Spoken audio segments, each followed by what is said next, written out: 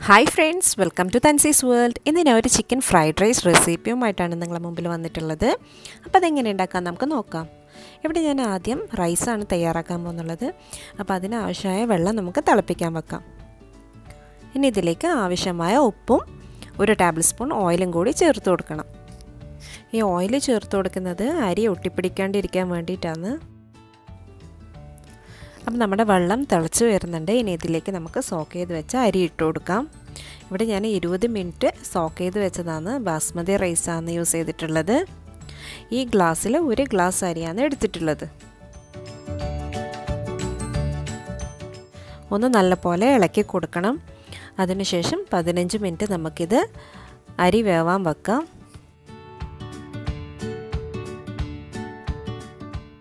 അപ്പോൾ നമ്മുടെ റൈസ് ഇവിടെ റെഡി ആയിട്ടുണ്ട്.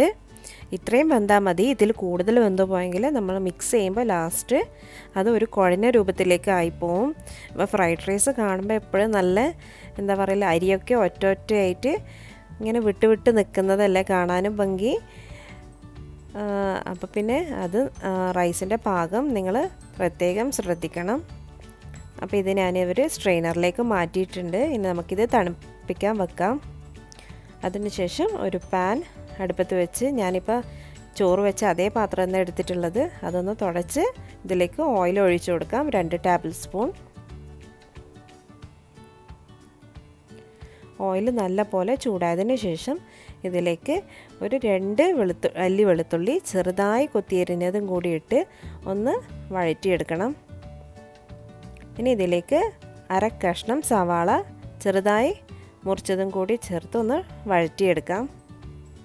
നല്ലോണം വഴറ്റേണ്ടതെന്നും ആവശ്യമില്ല. ജസ്റ്റ് ഒന്ന് കളറ് ചേഞ്ച് ചെയ്താൽ മാത്രം മതി. ഇനി ഇതിലേക്ക് ഒരു ടേബിൾ സ്പൂൺ സ്പ്രിങ് ഓനിയൻ കൂടി ചേർക്കുന്നുണ്ട്. എല്ലാം കൂടി നല്ലപോലെ വഴറ്റിയെടുക്കണം. ഇനി ഇതിലേക്ക് അരക്കപ്പ് ക്യാരറ്റ് ചേർത്ത് കൊടുക്കുക. ഞാനിവിടെ ചെറുതായി കട്ട് ചെയ്തിട്ടാണെന്നുള്ളത് അതേപോലെ ആറ് ബീൻസ് ചെറുതായി മുറിച്ചത്. കാൽ കപ്പ് കോണും കൂടി ചേർത്ത് കൊടുക്കുന്നുണ്ട്. ഇനി ഇതെല്ലാം നല്ലപോലെ വഴറ്റിയെടുക്കാം.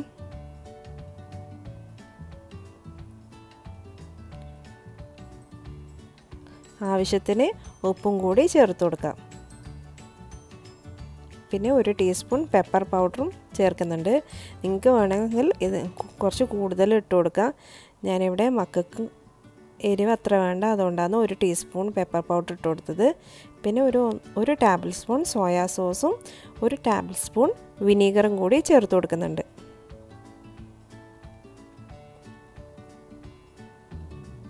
എന്നിട്ട് നല്ല പോലെ ഒന്ന് യോജിപ്പിച്ചെടുക്കാം. അതേപോലെ ഒരു പിഞ്ച് ഷുഗറും കൂടി ചേർക്കുന്നുണ്ട്. ഇനി നമുക്ക് ഈ വെജിറ്റബിൾസ് എല്ലാം സൈഡിലോട്ടേക്ക് മാറ്റി രണ്ട് മുട്ട ബീറ്റ് ചെയ്തതും കൂടി ഇതിലേക്കിട്ട് ഒന്ന് സ്ക്രാമ്പിൾ ചെയ്തെടുക്കാം.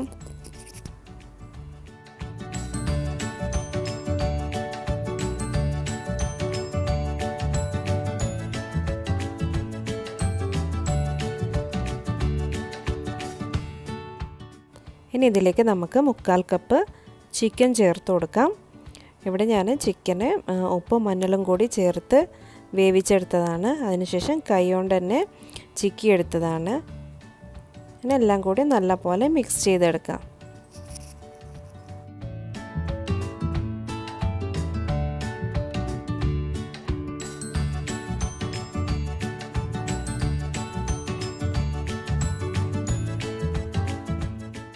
അപ്പോൾ ഉപ്പൊക്കെ കറക്റ്റ് ഉണ്ടോ എന്നൊന്ന് നോക്കാം.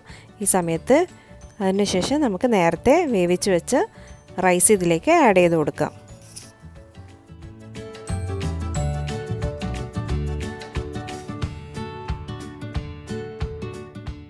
എന്നെ എല്ലാം കൂടി നല്ല പോലെ യോജിപ്പിച്ചെടുക്കണം.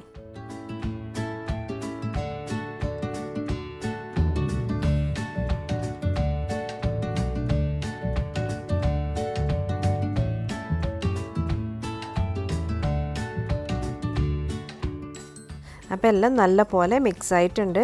ഇനി ഇതിലേക്ക് ഒന്നുകൂടി ഒരു ടേബിൾ സ്പൂൺ സോയാ സോസ് ചേർത്ത് കൊടുക്കാം.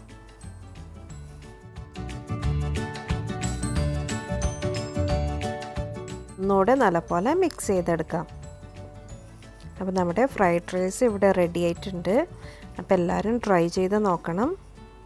അപ്പോൾ ഈ റെസിപ്പി ഇഷ്ടപ്പെട്ടെങ്കിൽ ലൈക്ക് ചെയ്യാനും ഷെയർ ചെയ്യാനും കമന്റ് ചെയ്യാനും മറക്കരുത്. അപ്പോൾ എന്റെ വീഡിയോ ആദ്യമായിട്ട് കാണുന്നവരുണ്ടെങ്കിൽ സബ്സ്ക്രൈബ് ചെയ്യാനും അതേപോലെ തൊട്ടടുത്തുള്ള ബെല്ലൈക്കൺ പ്രസ് ചെയ്യാനും മറക്കരുത്. എന്നെങ്കിൽ ഞാനിടുന്ന പുതിയ വീഡിയോസ് നിങ്ങൾക്ക് നോട്ടിഫിക്കേഷൻ കിട്ടുള്ളൂ.